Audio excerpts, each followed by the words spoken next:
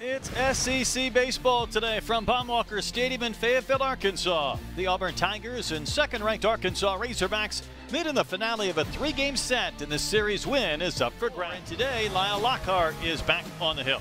Yeah, Arkansas is probably most consistent starter this season. Grad transfer out of Houston. A guy that really knows how to pitch, works that ball in and out, Brad. And Bliss tomahawks a pitch past Battles, and Bliss just keeps on hitting. Lockhart made a couple of two-strike pitches in that sequence that looked pretty good, and that time runs in three and a third innings. This one's hit well to right. Back goes Wallace, looks up, that thing is gone. For the third straight game, the Auburn Tigers strike first. Yeah, no doubter by Judd Ward. That thing was absolutely juiced. Wind or no wind, that thing, nothing was keeping that ball in the park. Softly hit to the left side. See if he can beat this out. Woley pops up nicely, and Miller kept his foot on the bat. That's a nice play by Woley. Necessarily a bunt, just a kind of a check swing roller. Wallace is going to K to end the LSU to really be scuffling like they the way they are. That's in. So Bliss will walk. Two strike pitch, grounded a second. Can Arkansas get two? There's one. Moore's relay, double play. Hogs turn it over to win the third inning. Maybe that was the one seamer, Troy. And that's ball four. This last two really did not no, finish that far out. Especially that, that this weekend. Let's see if Franklin could find a way to tie things up. What he's been doing, those hitting the ball on the ground, and the Tigers have been turning double plays like clockwork. There's another. This Auburn team has really pitched them well.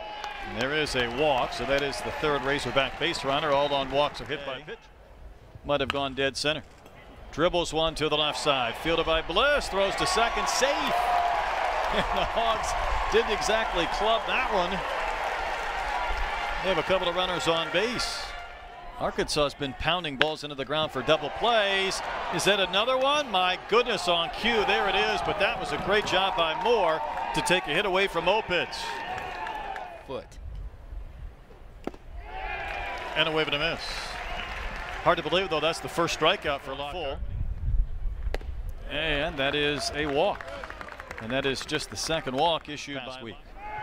Bliss is off and running. Opitz loves to throw guys out. That throw a little bit wide, and that was a great job by Moore just to come up yep. with that. Backlogged in pitching.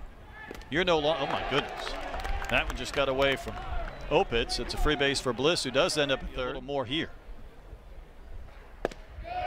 He'll take ball four. So Lockhart, after he fell behind, didn't come out. Dave Van Horn makes this move to Caden Monke because he's got a little bit better swing and miss stuff than Lockhart does. Pretty well on Friday.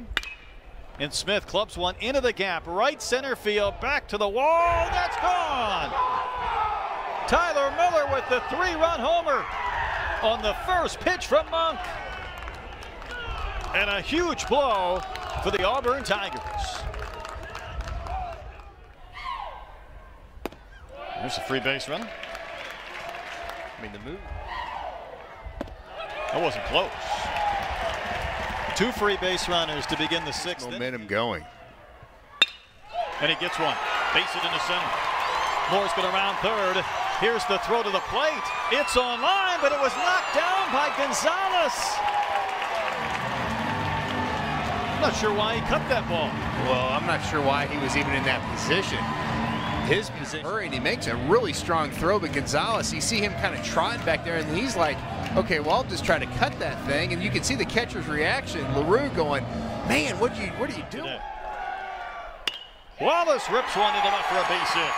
Franklin got a late break, but he's going to be waved in. Ward's got a tremendous arm, but his throw is late, and the Hogs have scored two, and there's still nobody out.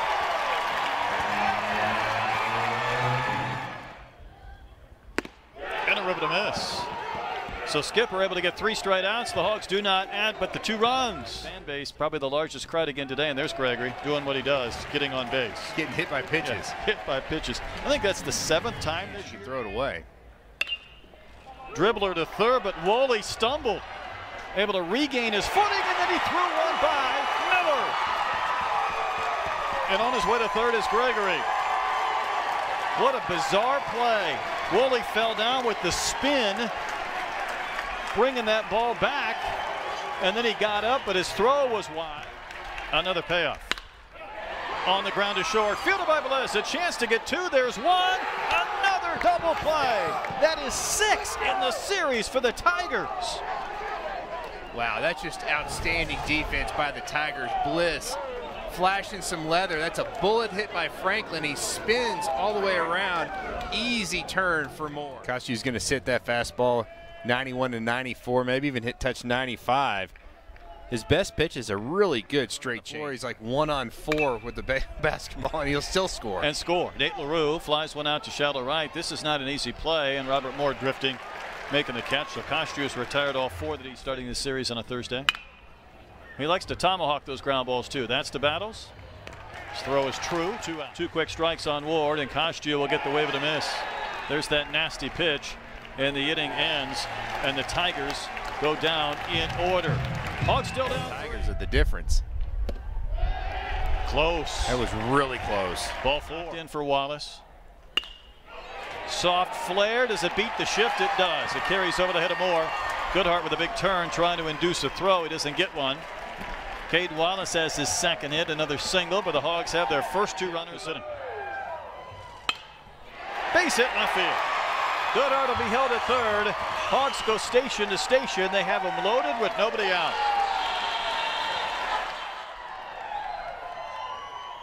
Breaking ball is chopped towards second. A chance for another double play, the seventh in the series. Wow, you talk about a deflating play even when you score a run. And he will. And he'll also come to the plate representing the go-ahead run despite the double play. The straight and missed. Ball eight. And the bases are loaded for Zack Gregory. Two outs. The payoff pitch. Ball four. And it's a one-run game.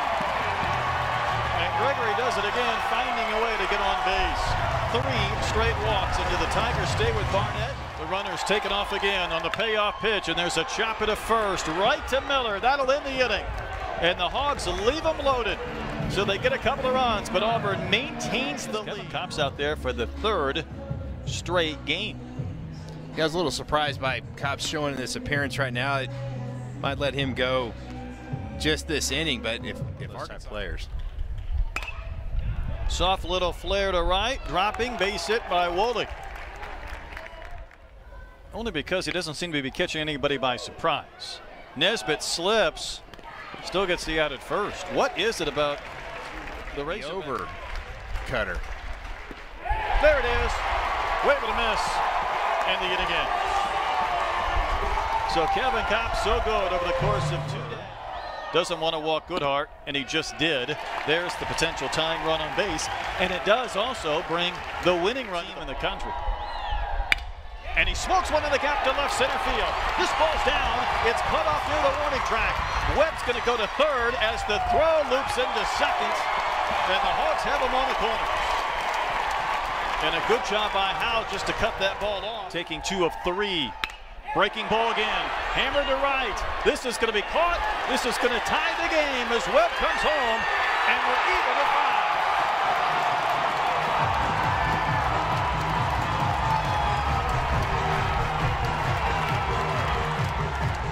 And the one out walk is cashed in for a run. And in fact, today, Troy, Nesbit lifting one to right center. This should be caught and will. And the Hogs get a run, but they leave a pair, and we're going to extra innings. All tied at five, the Tigers and the Hogs. And it's Jaxon Wiggins who comes on to pitch. Here's what the Hogs have done this year in extra innings. Just can't find the zone. That's ball four. Swinging away is where. It's up there a long ways for Wallace. One out. 10th inning. Another one that's hit straight up the chute. Christian Franklin out in center. Will record the second out. Bliss. Might get himself another fly ball. This is not an easy play, though. Who wants it? It's Robert Moore making the catch to end the 10th. Hogs are going to send up battles. Gregory and Moore. That one is fair, and it's down the line and right. Chasing is Williams. Gregory has two. That ball's played back in nicely by Williams to keep Gregory from getting a triple. How about some of the hits from Gregory? The pinch hit triple last night and a double to begin the 10th inning. And the Tigers will go ahead and put him on. And they'll also test out this wrist of Christian. Auburn outfield playing about four or five steps more shallow than normal. Chopper down the third baseline. That ball's fair. And the Hogs are going to win it. Gregory comes racing home. The celebration begins. And from five down, the Hogs storm back and win in extras. The heart attack Hogs do it again and they take the series. Well, that wrist held up for Christian Franklin, hit a bullet past the, the diving Woley, and tell you what, you can see the emotion out of these kids and what a big win it, win it was for Arkansas and Auburn. Man, they really put up a great fight this weekend. Auburn wins the opener. The Hogs down four runs yesterday. They come back to win. Down five runs today. They score the last six to walk it off. But just a great swing right there by Christian Franklin. Just out of the reach of Wally. I'm surprised he wasn't guarding the line maybe. Here in the 10th inning, Nate Thompson celebrates. Zack Gregory scores, and the chase is on. Don't hurt him. Christian Franklin